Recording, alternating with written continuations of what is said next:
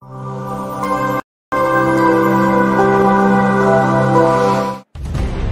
Corona ਕਾਲ ਦੇ ਚਲਦਿਆਂ ਲੋਕਾਂ ਨੂੰ ਮਦਦ ਦੀ ਲੋੜ ਹੈ, ਦਵਾਈਆਂ ਦੀ ਲੋੜ ਹੈ, ਆਕਸੀਜਨ ਦੀ ਲੋੜ ਹੈ। ਇਸੇ ਦੇ ਚੱਲਦਿਆਂ ਅੱਜ ਮਾਨਸਾ ਦੇ ਵਿੱਚ ਲਗਾਏ ਗਏ ਆਕਸੀਜਨ ਪਲਾਂਟ ਲਈ ਚੈੱਕ ਵੰਡਣ ਕੇਂਦਰੀ ਮੰਤਰੀ ਹਰਸਿਮਰਤ ਕੌਰ ਬਾਦਲ ਪਹੁੰਚੇ। ਇਸ ਦੌਰਾਨ ਉਹਨਾਂ ਪੰਜਾਬ ਸਰਕਾਰ ਤੇ ਤੰਜ ਕਸਿਆ ਤੇ ਕਿਹਾ ਕਿ ਪੰਜਾਬ ਸਰਕਾਰ ਕੋਰੋਨਾ ਮਹਾਮਾਰੀ ਨੂੰ ਰੋਕਣ ਵਿੱਚ ਅਸਫਲ ਰਹੀ ਹੈ। ਜਿਸ ਕਰਕੇ ਸ਼੍ਰੋਮਣੀ ਗੁਰਦੁਆਰਾ ਪ੍ਰਬੰਧਕ ਕਮੇਟੀ ਅਤੇ ਅਕਾਲੀ ਦਲ ਨੇ ਕੋਰੋਨਾ ਪੀੜਤਾਂ ਨੂੰ ਹਰ ਸੰਭਵ ਸਹਾਇਤਾ ਦੇਣ ਦੀ ਕੋਸ਼ਿਸ਼ ਕੀਤੀ ਹੈ। ਇੱਥੇ ਹੀ ਬਸ ਨਹੀਂ, ਹਰਸਿਮਰਤ ਕੌਰ ਬਾਦਲ ਨੇ ਆਰੋਪ ਲਗਾਇਆ ਕਿ ਪੰਜਾਬ ਵਿੱਚ ਗੈਂਗਸਟਰ ਰਾਜ ਚੱਲ ਰਿਹਾ ਹੈ। ਜਗਰਾਉਂ ਕਾਂਡ ਦੇ ਦੋਸ਼ੀ ਦਰਸ਼ਨ ਸਿੰਘ ਜੋ ਕਿ ਖਤਰਨਾਕ ਗੈਂਗਸਟਰ ਹੈ, ਉਸ ਦੀ ਇੱਕ ਤਸਵੀਰ ਕੈਪਟਨ ਸਿੰਘ ਦੇ ਸਲਾਹਕਾਰ ਕੈਪਟਨ ਸੰਦੀਪ ਸੰਧੂ ਦੇ ਨਾਲ ਵਾਇਰਲ ਹੋ ਰਹੀ ਹੈ। ਪੰਜਾਬ ਵਿੱਚ ਗੈਂਗਸਟਰ ਵਪਾਰੀ ਨੂੰ ਫੋਨ ਕਰ ਫਿਰੌਤੀ ਦੀ ਮੰਗ ਕਰਦੇ ਨੇ, ਜੋ ਅਮਨ ਕਾਨੂੰਨ ਦੀ ਸਥਿਤੀ ਨੂੰ ਬੇਨਕਾਬ ਕਰਦੀ ਹੈ। ਹਰਸਿਮਰਤ ਕੌਰ ਬਾਦਲ ਨੇ ਕਿਹਾ ਕਿ ਕਾਂਗਰਸੀ ਆਗੂ ਕੁਰਸੀ ਲਈ ਲੜ ਰਹੇ ਨੇ ਅਤੇ ਇੱਕ ਦੂਜੇ ਨੂੰ ਹਾਈ ਕਮਾਂਡ ਕੋਲ ਸ਼ਿਕਾਇਤ ਕਰਨ ਵਿੱਚ ਲੱਗੇ ਹੋਏ ਨੇ, ਜਦਕਿ ਉਹਨਾਂ ਨੂੰ ਲੋਕਾਂ ਤੱਕ ਪਹੁੰਚ ਕਰਨੀ ਚਾਹੀਦੀ ਸੀ ਜਿਸ ਕਾਰਨ ਉਹਨਾਂ ਦਾ ਦੁੱਖ ਘੱਟ ਹੋਣਾ ਸੀ, ਪਰ ਕਾਂਗਰਸ ਸਰਕਾਰ ਬੁਰੀ ਤਰ੍ਹਾਂ ਦੇ ਨਾਲ ਹਰ ਮੋਰਚੇ ਤੇ ਫੇਲ ਹੋਈ ਹੈ। ਦੇਖੋ, ਇਸ ਕਰੋਨਾ ਮਹਾਮਾਰੀ ਦੇ ਨਾਲ ਜਿੰਨਾ ਨੁਕਸਾਨ ਦੁਨੀਆ 'ਚ, ਦੇਸ਼ 'ਚ ਹੋਇਆ ਹੈ, ਉਹਦਾ ਦੁੱਖ ਇਸ ਗੱਲ ਹੈ ਕਿ ਸਾਡਾ ਪੰਜਾਬ ਇਸ ਨੁਕਸਾਨ 'ਚ ਅੱਜ ਵੀ ਜਿੰਨੀ ਨੈਸ਼ਨਲ ਐਵਰੇਜ ਹੈਗੀ ਮੌਤਾਂ ਦੀ, ਉਸ ਐਵਰੇਜ ਦਾ ਦੁੱਗਣਾ ਸਾਡੇ ਪੰਜਾਬ 'ਚ ਮੌਤਾਂ ਹੋ ਰਹੀਆਂ ਨੇ। ਲਗਾਤਾਰ ਪਿਛਲੇ 34 35 ਦਿਨਾਂ ਤੋਂ ਹਰ ਰੋਜ਼ 100 ਬੰਦੇ ਮਰ ਰਹੇ ਨੇ, ਹਰ ਰੋਜ਼। ਮਤਲਬ ਕਿਸੇ ਸੂਬੇ 'ਚ ਜੇ ਇੱਕ ਅੱਧਾ ਦਿਨ 100-100 ਬੰਦੇ ਰੋਜ਼ ਮਰੀ ਜਾਣ ਤਾਂ ਸੂਬੇ ਦਾ ਮੁਖੀ ਕੀ ਕਰਦਾ ਹੈ? ਉੱਥੇ ਦੀ ਐਡਮਿਨਿਸਟ੍ਰੇਸ਼ਨ ਨਾਲ ਗੱਲ ਕਰਦਾ ਹੈ, ਉੱਥੇ ਪਹੁੰਚਦਾ ਹੈ। ਸੁਧਾਰ ਕਿਵੇਂ ਕਰੀਏ ਉਹਦੇ ਬਾਰੇ ਸੋਚਦਾ ਹੈ। ਲੇਕਿਨ ਅਫਸੋਸ ਕਿ ਇਹ ਸਰਕਾਰ ਨੂੰ ਟਾਈਮ ਤਾਂ ਹੈਗਾ ਦਿੱਲੀ ਜਾ ਕੇ ਆਪ ਦੀ ਕੁਰਸੀ ਸੰਭਣ ਵਾਸਤੇ, ਲੇਕਿਨ ਲੋਕਾਂ ਦੀ ਜਿਹੜੀ ਮੌਤਾਂ ਹੋ ਰਹੀਆਂ ਨੇ, ਉਹਨਾਂ ਹਾਲਾਤਾਂ ਨੂੰ ਸੁਧਾਰਨ ਵਾਸਤੇ ਕੀ ਕਰਨਾ ਹੈ? ਅੱਜ ਨਾ ਆਕਸੀਜਨ ਦੀ ਘਾਟ ਕਮੀ ਆਪਾਂ ਦੇਖਿਆ ਇਸ ਮਹਾਮਾਰੀ ਦੇ ਦੌਰਾਨ ਕਿੰਨੀ ਵੱਡੀ ਸੀਗੀ। ਦਵਾਈਆਂ ਦੀ ਘਾਟ ਕਮੀ ਵੈਕਸੀਨੇਸ਼ਨ ਦੀ ਘਾਟ ਕਮੀ, ਬੈੱਡਾਂ ਦੀ ਘਾਟ ਕਮੀ, ਹਰ ਚੀਜ਼ ਦੀ ਜਦ ਘਾਟ ਕਮੀ ਨਜ਼ਰ ਆਈ ਹੈ, ਤੇ ਸਾਰੇ ਕਹਿ ਰਹੇ ਨੇ ਕਿ ਤੀਜੀ ਵੇਵ ਵੀ ਆਉਣ ਵਾਲੀ ਹੈ, ਜਿਸ ਵੇਵ 'ਚ ਜ਼ਿਆਦਾ ਬੱਚਿਆਂ ਨੂੰ ਇਫੈਕਟ ਕਰੂਗੀ। ਤੇ ਫਿਰ ਜਦ ਸਰਕਾਰ ਵੱਲੋਂ ਕੋਈ ਪ੍ਰਬੰਧ ਨਹੀਂ ਦਿਖ ਰਹੇ, ਤੇ ਅਸੀਂ ਆਪਣੇ ਵੱਲੋਂ ਜਿੰਨੇ ਕੁ ਜੋਗੀ ਹੈਗੇ, ਸਾਡੇ ਕੋਲ ਕੱਲੀ ਇੱਕ ਧਾਰਮਿਕ ਸੰਸਥਾ ਦਿੱਲੀ 'ਚ ਦਿੱਲੀ ਗੁਰਦੁਆਰਾ ਸੀਗੀ ਇੱਥੇ ਐਸਜੀਪੀਸੀ ਹੈਗੀ ਜਿੱਥੇ ਆਪਣੀ ਆਪਣੇ ਮੈਂਬਰ ਹੈਗੇ ਵੱਧ।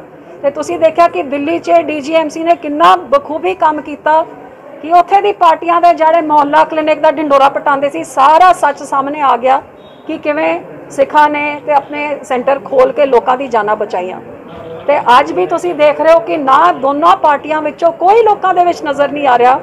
ਐਸਜੀਪੀਸੀ ਥਾਂ ਥਾਂ ਜਾ ਕੇ ਲੋਕਾਂ ਵਾਸਤੇ ਆਹ ਆਕਸੀਜਨ ਸੈਂਟਰ ਖੋਲ ਰਹੀ ਹੈ। ਉਹਨਾਂ ਨੂੰ ਰੋਟੀ ਪਹੁੰਚਾ ਰਹੀ ਹੈ ਤੇ ਹੁਣ ਘਰ ਘਰ ਤਾਈਂ ਅਸੀਂ ਆਪਣੇ ਆਕਸੀਜਨ ਦੇ ਉਹਨਾਂ ਵਾਸਤੇ ਕਨਸੈਂਟਰੇਟਰ ਪਹੁੰਚਣ ਦੀ ਵੀ ਸੇਵਾ ਆਪਾਂ ਕਰ ਰਹੇ ਹਾਂ।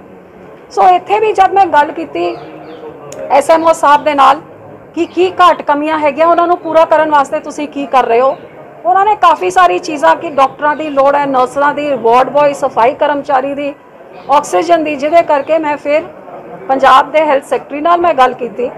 ਤੇ ਉਹਨਾਂ ਨੂੰ ਮੈਂ ਕਿਹਾ ਕਿ ਮੇਰੇ ਐਮਪੀ ਲਾਡ ਤੋਂ ਜਿਹੜੀ ਵੀ ਚੀਜ਼ ਦੀ ਤੁਹਾਨੂੰ ਲੋੜ ਹੈ, ਲੋਕੀ ਕਹਿੰਦੇ ਤੀਜੀ ਵੇਵ ਆ ਰਹੀ ਹੈ, ਤੀਜੀ ਵੇਵ 'ਚ ਬੱਚਿਆਂ ਦੇ ਬਹੁਤ ਵੱਡਾ ਅਸਰ ਹੋਊਗਾ। ਅਸੀਂ ਕੀ ਤਿਆਰੀ ਕਰ ਰਹੇ ਹਾਂ? ਘੱਟ ਤੋਂ ਘੱਟ ਕਿਸੇ ਮਾਪੇ ਨੂੰ, ਆਪਦੇ ਬੱਚੇ ਨੂੰ ਆਕਸੀਜਨ ਦੀ ਘਾਟ ਕਰਕੇ ਨਾ ਤਾਂ ਮਰਦੇ ਹੋਏ ਦੇਖਣਾ ਚਾਹੀਦਾ ਹੈ। ਸੋ ਜਿਹਦੇ ਕਰਕੇ ਉਹਨਾਂ ਨੇ ਕਿਹਾ ਕਿ ਹਾਂਜੀ, ਮੈਂ ਕਿਹਾ ਮੇਰੇ ਐਮਪੀ ਲੈਟ ਤੋਂ ਜੋ ਤੁਹਾਨੂੰ ਚਾਹੀਦਾ ਹੈ, ਤੁਸੀਂ ਮੇਰੇ ਤੋਂ ਲੈ ਲਓ, ਕਿਉਂਕਿ 2019 ਦੀ ਚੋਣਾਂ ਤੋਂ ਪਹਿਲੇ ਜਿਹੜਾ ਮੈਂ ਐਮਪੀ ਲੈਟ ਵੰਡਿਆ ਸੀਗਾ, ਇਹਨਾਂ ਦੋਨਾਂ ਡੀਸੀਆਂ ਨੇ ਬਹੁਤ ਵੱਡੀ ਵੱਡੀ ਅਮਾਉਂਟ ਉਹ ਲਗਨ ਹੀ ਨਹੀਂ ਦਿੱਤਾ, ਜਿਹਦੇ ਕਰਕੇ ਉਹ ਮੇਰੇ ਅਕਾਊਂਟ 'ਚ ਵਾਪਸ ਆ ਗਿਆ ਸੀ। ਸੋ ਉਹਨਾਂ ਨੇ ਸੈਕਟਰੀ ਸਾਹਿਬ ਨੇ ਕਿਹਾ ਕਿ ਸਾਨੂੰ PSA plant oxygen manufacturing plant ਜਿਹੜੇ ਹੁੰਦੇ ਨੇ, ਉਹਦੇ ਵਾਸਤੇ ਇੱਥੇ 1 ਕਰੋੜ 43 ਲੱਖ ਮਾਨਸੇ ਵਾਸਤੇ ਤੇ ਤਲਵੰਡੀ ਸਾਬੋ 'ਚ ਤੇ ਗੋਨਿਆਣਾ ਮੰਡੀ 'ਚ ਜਿਹੜੇ ਸਿਵਲ ਹਸਪਤਾਲ ਹੈ, ਉਹਨਾਂ ਵਾਸਤੇ ਵੀ 1.5 ਕਰੋੜ ਰੁਪਇਆ ਮੈਂ ਕੱਲ ਦੇ ਕੇ ਆਈ ਹਾਂ, ਤਾਂ ਅੱਜ 143 ਸੋ ਮਤਲਬ 3 ਕਰੋੜ ਰੁਪਇਆ ਮੈਂ ਆਪਣੇ ਐਮਪੀ ਲਾਟ ਤੋਂ ਇਸ ਕਰਕੇ ਦਿੱਤਾ ਤਾਂ ਕਿ ਜਲਦ ਤੋਂ ਜਲਦ ਆਕਸੀਜਨ ਦੀ ਮੈਨੂਫੈਕਚਰਿੰਗ ਦੀ ਸਪਲਾਈ ਦੇ ਪਲਾਂਟ ਆਪਣੇ ਇਲਾਕੇ 'ਚ, ਮੇਰੇ ਹਲਕੇ 'ਚ ਬਣ ਜਾਣ ਤੇ ਕਿਸੇ ਗਰੀਬ ਨੂੰ, ਕਿਸੇ ਅਮੀਰ ਨੂੰ ਅੱਜ ਤਾਂ ਹਾਲਾਤ ਹੈ ਕਿ ਪੈਸੇ ਵੀ ਤੁਹਾਨੂੰ ਆਕਸੀਜਨ ਨਹੀਂ ਖਰੀਦ ਕੇ ਦੇ ਸਕ ਰਹੀ। ਘੱਟ ਤੋਂ ਘੱਟ ਇਸ ਘਾਟ ਕਮੀ ਨੂੰ ਦੂਰ ਕਰਨ ਵਾਸਤੇ ਜੋ ਹਮਲਾ ਮਾਰ ਸਕਦੇ ਆ ਉਹ ਆਪਣੇ ਸਾਰਿਆਂ ਦਾ ਮਾਰਨ ਦਾ ਫਰਜ਼ ਬਣਦਾ ਹੈ। ਭਾਈ ਜਗਰਾਉਂ ਪੁਲਿਸ ਦੇ ਮੁਲਾਜ਼ਮਾਂ ਨੂੰ ਗੈਂਗਸਟਰ ਦਰਸ਼ਨ ਨੇ ਜਿਹੜਾ ਕਤਲ ਕੀਤਾ ਹੈ, ਉਹਦੀਆਂ ਫੋਟੋਆਂ ਕੈਪਟਨ ਸੰਦੀਪ ਸੰਧੂ ਨਾਲ ਨਸ਼ਰ ਹੋਈਆਂ, ਉਹਨੂੰ ਮੱਧ ਪ੍ਰਦੇਸ਼ ਪੁਲਿਸ ਨੇ ਫੜਿਆ, ਕੀ ਕਹਿਣਾ ਚਾਹੋਗੇ? ਇਹਦੇ ਵਿੱਚ ਕੋਈ ਸ਼ੱਕ ਨਹੀਂ ਹੈ ਕਿ ਪੰਜਾਬ ਵਿੱਚ ਸਰਕਾਰ ਨਾਮ ਦੀ ਕੋਈ ਚੀਜ਼ ਨਹੀਂ ਹੈਗੀ। ਗੈਂਗਸਟਰਾਂ ਦਾ ਰਾਜ ਸ਼ਰੇਆਮ ਚੱਲ ਰਿਹਾ ਹੈ। ਦਿਨ ਦਿਹਾੜੇ ਲੋਕਾਂ ਨੂੰ ਗੋਲੀਆਂ ਮਾਰੀਆਂ ਜਾ ਰਹੀਆਂ ਨੇ। ਬਲਕਿ ਸਰਕਾਰ ਸੀਐਮਓ ਤੋਂ ਚੀਫ ਮਿਨਿਸਟਰ ਅਫਸਰ ਤੋਂ ਨਹੀਂ, ਮੈਂ ਕਹਾਂਗੀ ਜੇਲਾਂ ਦੇ ਸਲਾਖਾਂ ਤੋਂ ਪਿੱਛੇ ਗੈਂਗਸਟਰ ਚਲਾ ਰਹੇ ਨੇ। ਐਂਡ ਇਹ ਇੱਕ ਉਹਦਾ ਬਿਲਕੁਲ ਇੱਕ ਐਗਜ਼ਾਮਪਲ ਹੈਗਾ ਕਿ ਕਿਵੇਂ ਇਹ ਨੇੜਤਾ ਕਾਂਗਰਸੀਆਂ ਦੇ ਆਗੂਆਂ ਦੇ ਨਾਲ ਕਈ ਮੰਤਰੀਆਂ ਦੇ ਨਾਲ ਵੀ ਇਹੋ ਜਿਹੇ ਪਹਿਲੇ ਵੀ ਬੜੀ ਸਾਰੀ ਕਹਾਣੀਆਂ ਆਈ ਨੇ, ਭਗਵਾਨਪੁਰਾ ਜਿਹੜਾ ਵੀ ਹੋਏ। ਤੇ ਹੁਣ ਵੀ ਇਹ ਕੈਪਟਨ ਸੰਦੀਪ ਸੰਧੂ ਜਿਹੜੇ ਸੀਐਮ ਦੇ ਸੱਜੀ ਬਾਹ ਮੰਨੇ ਜਾਂਦੇ ਨੇ, ਗੈਂਗਸਟਰਾਂ ਦੇ ਨਾਲ ਇਹਨਾਂ ਦੀ ਫੋਟੋਆਂ ਹੋਣ ਜਾਂ ਭਗਵਾਨਪੁਰੀਆਂ ਦੇ ਮੰਤਰੀਆਂ ਦੇ ਨਾਲ ਫੋਟੋਆਂ ਹੋਣ, ਇਹ ਤਾਂ ਬਿਲਕੁਲ ਕਲੀਅਰ ਹੈਗਾ ਕਿ ਆਪ ਤਾਂ ਚਲਾ ਨਹੀਂ ਸਕਦੇ ਤਾਂ ਗੈਂਗ- ਗੈਂਗਸਟਰਾਂ ਦੇ ਸਿਰ ਤੇ ਪੰਜਾਬ ਦੀ ਲਾਅ ਐਂਡ ਆਰਡਰ ਰੱਖੀ, ਜਿਹਦੇ ਕਰਕੇ ਅੱਜ ਦਿਨ ਦਿਹਾੜੇ ਜਿੱਥੇ ਵੀ ਸ਼ਹਿਰ 'ਚ ਜਾਓ, ਕਦੇ ਮਾਨਸੇ ਸ਼ਹਿਰ 'ਚੋਂ ਆ ਖੜੇ ਨੇ, ਪੁੱਛ ਲਓ। ਕਿੰਨੇ ਸਾਰੇ ਲੋਕਾਂ ਨੂੰ ਅੱਜ ਐਕਸਟੋਰਸ਼ਨ ਦੇ ਫੋਨ ਕਾਲਸ ਆਉਂਦੇ ਨੇ? ਦੱਸੋ ਜੀ ਤੁਹਾਡੇ ਸ਼ਹਿਰ 'ਚ। ਕਦੇ ਐਕਸਟੋਰਸ਼ਨ ਦੇ ਮਾਨਸੇ 'ਚ ਕਦੇ ਬਠਿੰਡੇ 'ਚ ਜਿਹੜੇ ਦੇ ਵੱਲ ਚੱਕ ਕੇ ਫੋਨ ਕੀ ਇੰਨੇ ਪੈਸੇ ਦਿਓ ਨਹੀਂ ਤਾਂ ਜੀ ਅਸੀਂ ਆ ਕਰਾਂਗੇ ਆ ਕਰਾਂਗੇ। ਸੋ ਇੱਥੇ ਐਕਸਟੋਰਸ਼ਨ ਅੱਡ ਹੋ ਰਹੀ ਹੈ। ਮੌਤਾਂ ਇਹਨਾਂ ਦੇ ਕਿਡਨੈਪਿੰਗਸ ਅੱਡ ਹੋ ਰਹੀਆਂ ਨੇ। ਖੂਨ ਕਤਲ ਅੱਡ ਹੋ ਰਹੇ ਨੇ। ਤੇ ਇਹ ਬੜੀ ਦੁੱਖ ਦੀ ਗੱਲ ਹੈ ਕਿ ਇਹ ਸਰਕਾਰ ਬਿਲਕੁਲ ਫੇਰ ਸਰਕਾਰ ਨੇ 24 ਡੀਪੀਐਸ ਅਫਸਰਾਂ ਨੂੰ ਆਈਪੀਐਸ ਰਿਪੋਰਟ ਕੀਤਾ ਇਲੈਕਸ਼ਨ ਕਮਿਸ਼ਨ ਨੇ ਨੋਟਿਸ ਜਾਰੀ ਕੀਤਾ। ਉਹਦੇ ਵਿੱਚ ਕੋਈ ਵੀ ਦਲਿਤ ਜਿਹੜਾ ਹੈਗਾ ਸ਼ਾਮਲ ਨਹੀਂ ਕੀਤਾ। ਕਿ ਕੀ ਦਲਿਤ ਪੀਪੀਐਸ ਤੋਂ ਆਈਪੀਐਸ ਨਹੀਂ ਬਣ ਸਕਦੇ, ਕੀ ਕਹਿਣਾ ਚਾਹੋਗੇ? ਬਿਲਕੁਲ ਬਣਨੇ ਚਾਹੀਦੇ ਨੇ। ਪਰ ਕਿਉਂ ਨਹੀਂ ਬਣਾਏ, ਇਹਦਾ ਜਵਾਬ ਵੀ ਉਹ ਦੇਣ। ਲੇਕਿਨ ਅੱਜ ਜਿਹੜੀ ਮੈਂ ਅਖਬਾਰ 'ਚ ਪੜ੍ਹ ਰਹੀ ਸੀ ਕਿ ਘਰ ਘਰ ਨੌਕਰੀ ਦਾ ਵਾਅਦਾ ਤਾਂ ਕੀਤਾ ਸੀ ਲੋਕਾਂ ਦੇ ਨਾਲ। ਫਾਰਮ ਭਰਵਾਏ ਸੀਗੇ ਲੋਕਾਂ ਦੇ ਜਵਾਕਾਂ ਤੋਂ। ਲੇਕਿਨ ਅੱਜ ਕੈਬਨਿਟ 'ਚ ਕੱਲ ਦੀ ਕੈਬਨਿਟ 'ਚ ਜਿਹੜੀ ਫਾਈਲਾਂ ਆ ਰਹੀਆਂ ਨੇ ਉਹ ਇੱਕ ਬਾਜਵਾ ਸਾਹਿਬ ਦੇ ਮੁੰਡੇ ਦੀ ਨੌਕਰੀ ਦੇ ਤੇ ਇੱਕ ਹੋਰ ਐਮਐਲਏ ਦੇ ਮੁੰਡੇ ਦੀ ਨੌਕਰੀ, ਇੱਕ ਨੂੰ ਤਹਿਸੀਲਦਾਰ ਤੇ ਇੱਕ ਨੂੰ ਡੀਐਸਪੀ ਸੋ ਘਰ ਘਰ ਤੇ ਕੀ ਇਹ ਤਾਂ ਹੈਗਾ ਕਿ ਕਾਂਗਰਸ ਦਾ ਤਾਂ ਇਹ ਬੋਲਣਾ ਚਾਹੀਦਾ ਕਿ ਸਿਰਫ ਸਾਡੇ ਘਰ ਨੌਕਰੀ। ਪਹਿਲੇ ਬਿਆਨ ਸਿੰਘ ਦੇ ਰਿਸ਼ਤੇਦਾਰ ਨੂੰ ਨੌਕਰੀ ਦਿੱਤੀ, ਉਹਨੂੰ ਡੀਐਸਪੀ ਬਣਾਤਾ ਉਹਦੇ ਭਰਾ ਨੂੰ। ਹੁਣ ਤੁਸੀਂ ਦੋ ਐਮਐਲਏ ਦੇ ਬਣਾ ਦਿਓ ਤਾਂ ਲੋਕਾਂ ਨੂੰ ਜਿਹਨਾਂ ਨੂੰ ਫਾਰਮ ਭਰਵਾਏ ਸੀ ਉਹਨਾਂ ਦਾ ਕੀ?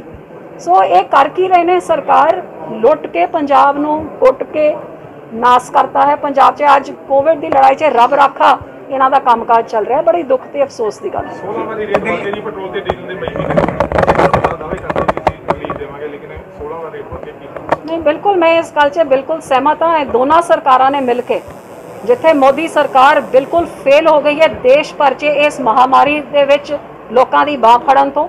ਤੇ ਮਹਾਮਾਰੀ ਤੋਂ ਤਾਂ ਕੀ ਬਚਾਣਾ ਸੀਗਾ? ਇਹਨਾਂ ਤੇ ਬਿਲਕੁਲ ਰੱਬ ਆਸਰੇ ਜਿਵੇਂ ਪੰਜਾਬ 'ਚ ਛੱਡਿਆ ਹੈ ਉਸ ਤਰ੍ਹਾਂ ਕੇਂਦਰ ਦੀ ਸਰਕਾਰ ਨੇ ਛੱਡਤਾ ਹੈ। ਤੇ ਜਿੱਥੇ ਲੋਕਾਂ ਨੂੰ ਲੋਕਡਾਊਨ ਕਰਕੇ ਇਹਨਾਂ ਦਾ ਕੰਮ ਧੰਦਾ ਠੱਪ ਹੈ। ਲੋਕਾਂ ਨੂੰ ਖਾਣ ਤੋਂ ਮੁਹਤਾਜ ਹੋ ਰਹੇ ਨੇ। ਜਾਨ ਬਚਾਉਣ ਵਾਸਤੇ ਪ੍ਰਾਈਵੇਟ ਹਸਪਤਾਲਾਂ ਦੇ ਇੰਨੀ ਸਾਰੀ ਲੁੱਟ ਮੱਚੀ ਹੋਈ ਹੈ ਕਿ ਉਹਦਾ ਖਰਚਾ ਨਹੀਂ ਕਰ ਸਕਦੇ। ਤੇ ਉੱਪਰੋਂ ਇਹ ਸਰਕਾਰ ਦੀ ਇਹਨਾਂ ਦੀ ਕਠੋਰ ਦਿਲਤਾ ਨੂੰ ਦੇਖੋ ਕਿ ਪੈਟਰੋਲ, ਡੀਜ਼ਲ ਦੇ ਲਗਾਤਾਰ ਦਾਮ ਵਧਾ ਵਧਾ ਕੇ ਹੁਣ 100 ਨੂੰ ਵੀ ਪਾਰ ਕਰਤਾ ਹੈਗਾ। ਸੋ ਇਹ ਸਰਕਾਰਾਂ ਜਿਹੜੇ ਚੀਜ਼ਾਂ ਵਾਸਤੇ ਲੋਕਾਂ ਨੂੰ ਝੂਠੇ ਲਾਰੇ ਲਾ ਕੇ, ਝੂਠੇ ਵਾਅਦੇ ਕਰਕੇ ਕਦੇ ਅੱਛੇ ਦਿਨ ਦੇ ਗੱਲ, ਕਦੇ ਘਰ ਘਰ ਨੌਕਰੀ ਦੇ, ਕਦੇ ਕਿਸਾਨੀ ਕਰਜ਼ਾ ਮਾਫੀ ਭਾਵੇਂ ਕਾਂਗਰਸ ਹੋ ਭਾਵੇਂ ਬੀਜੇਪੀ ਹੋ ਬੁਰੀ ਤਰ੍ਹਾਂ ਫੇਲ ਹੋ ਕੇ ਲੋਕਾਂ ਦੇ ਸਾਹਮਣੇ ਇਹਨਾਂ ਦੀ ਅਸਲੀਅਤ ਆ ਗਈ ਹੈ। ਭਾਈ ਦਿੱਲੀ ਦੇ ਡੇਰੇ ਲਾਏ ਆ ਕਾਂਗਰਸ ਦੀ ਗੁੱਟਬੰਦੀ ਨੇ ਤੇ ਪਹੁੰਚੇ ਨੇ ਦਿੱਲੀ ਕੀ ਲੱਗਦਾ ਅਫਸੋਸ ਦੀ ਗੱਲ ਹੈ ਪਹੁੰਚਣਾ ਤਾਂ ਲੋਕਾਂ ਦੇ ਕੋਲ ਚਾਹੀਦਾ ਸੀਗਾ ਕਿ ਲੋਕਾਂ ਨੂੰ ਪੁੱਛੀਏ ਕਿ ਤੁਹਾਡੀ ਕੀ ਮਦਦ ਕਰ ਸਕਦੀ ਹੈ ਸਰਕਾਰ। ਲੇਕਿਨ ਆਪ ਦੀ ਕੁਰਸੀ ਬਚਾਉਣ ਵਾਸਤੇ ਦਿੱਲੀ ਤਾਂ ਹੀ ਪਹੁੰਚ ਸਕਦੇ ਨੇ ਲੇਕਿਨ ਇੱਕ ਸੀਐਮ ਆਪ ਦੇ ਫਾਰਮ ਹਾਊਸ ਤੋਂ ਨਿਕਲ ਕੇ ਜਾਂ ਉਹਨਾਂ ਦੇ ਮੰਤਰੀ ਆਪ ਦੇ ਘਰਾਂ ਤੋਂ ਨਿਕਲ ਕੇ ਉਹ ਜਿਨ੍ਹਾਂ ਲੋਕਾਂ ਨੇ ਉਹਨਾਂ ਨੂੰ ਬਣਾਇਆ ਉਹਨਾਂ ਦੇ ਕੋਲ ਪਹੁੰਚ ਨਹੀਂ ਕਰ ਰਹੇ। ਇਹ ਇਹਨਾਂ ਦੀ ਨੀਅਤ ਦਿਖਾਉਂਦਾ ਹੈ। ਮਾਨਸਾ ਤੋਂ ਜਸਵੀਰ ਔਲਖ ਦੀ ਰਿਪੋਰਟ NC7 ਨਿਊਜ਼।